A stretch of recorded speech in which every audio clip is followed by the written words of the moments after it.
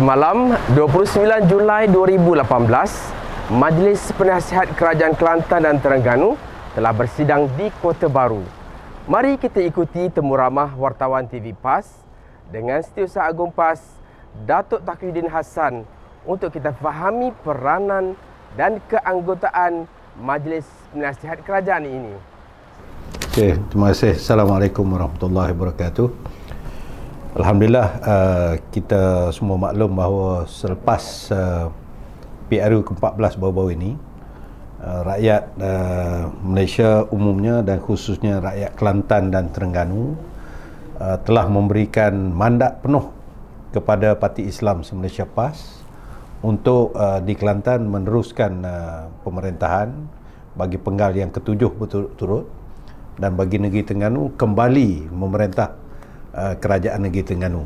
Jadi sehubungan dengan uh, dua negeri yang kita kuasai dan kita diberi mandat oleh rakyat, maka untuk memastikan uh, kedua-dua kerajaan kita ini dapat melaksanakan tanggungjawab khususnya memenuhi uh, janji-janji ataupun uh, perkara-perkara yang disebutkan di dalam manifesto PRU 14 maka PAS uh, pusat telah membuat satu keputusan untuk menubuhkan satu majlis yang dinamakan Majlis Penasihat Kerajaan Kelantan dan Terengganu.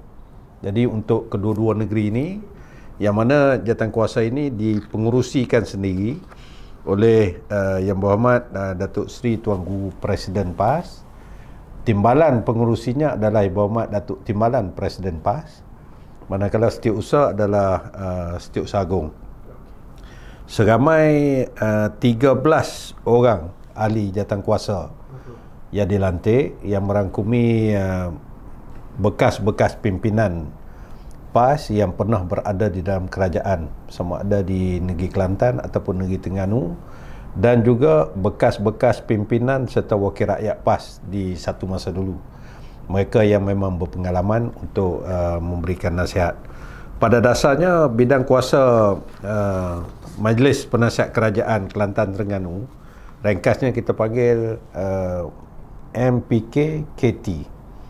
MPK KT ini mempunyai uh, bidang kuasanya tersendiri iaitu yang utamanya jawatan kuasa ini akan menjadi penasihat kepada yang amat berhormat Menteri Besar bagi kedua-dua negeri ini iaitu Kelantan dan Terengganu di samping uh, ahli-ahli Majlis Mesyuarat Kerajaan di kedua-dua negeri ini uh, dalam mereka ini membuat keputusan dasar berkaitan dengan pentadbiran kerajaan negeri yang merangkumi bidang-bidang hal agama, perundangan dan juga sosioekonomi negeri.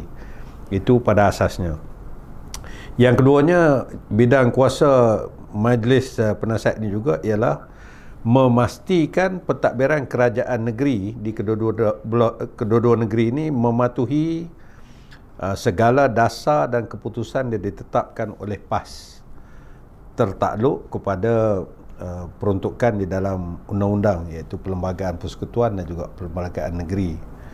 Uh, dan uh, oleh sebab itu tujuan ditubuhkan Uh, majlis penasihat ini maka majlis penasihat ini boleh pada bila-bila masa memanggil atau menjemput yang amat berhormat menteri besar kedua-dua negeri ini dan juga ahli-ahli exco kedua-dua negeri ini untuk menerangkan dasar dan juga keputusan kerajaan negeri serta melaporkan sebarang perkembangan terkini pentadbiran serta memberi penjelasan kalau ada isu-isu yang berbangkit itu pada asasnya uh, majlis penasihat kerajaan ini.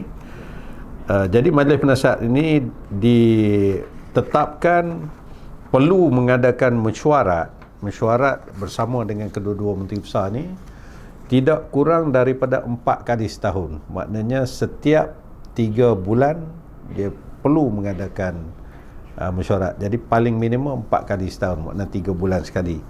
Uh, dan uh, Alhamdulillah pada 29 Julai uh, 2018 kita telah mengadakan mesyuarat yang pertama iaitu di uh, Kota Baru, Kelantan dan uh, kita telah mendapat majlis ini telah mendapat uh, taklimat awal berhubung dengan kerajaan kedua-dua negeri daripada kedua-dua yang berhormat menteri besar kita ini. Jadi itu perkembangan setakat ni. Ya. Jadi apa dia apa beza Datuk uh, majlis MPK ni dengan beza ataupun bersamaan dengan hmm. Council of Eminent Person? Dia pada dasarnya uh, bidang tugas ataupun fungsinya lebih kurang sama. Hmm. Tetapi uh, kita lebih uh, ber, berbentuk dalaman, dalaman parti.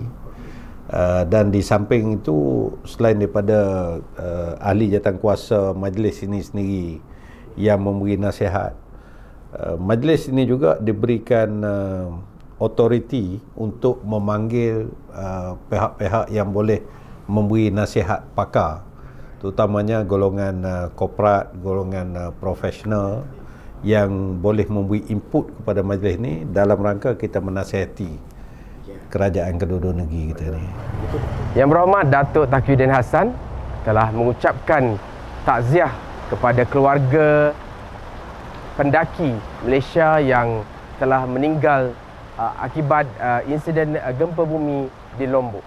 Okay. Jadi pada pada kesempatan ini juga saya uh, mewakili PAS lah mengambil kesempatan ini untuk kita mengucapkan uh, setinggi-tinggi takziah kepada seorang rakyat Malaysia iaitu saudari Siti Nur Isma Wida binti Ismail uh, yang uh, ditimpa satu malapetaka di Gunung Rinjani di Lombok Indonesia yang mana beliau adalah salah seorang daripada satu kumpulan pendaki gunung daripada Malaysia yang telah ditimpa apa ni musibah uh, earthquake ataupun uh, gempa bumi di sana dan menyebabkan kematian beliau.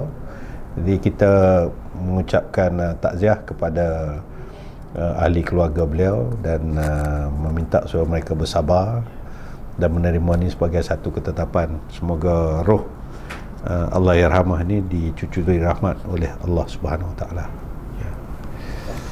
Sekian saja daripada saya Haznizul bin Ahmad Syukri melaporkan untuk TV PAS dari Parlimen. Thank you.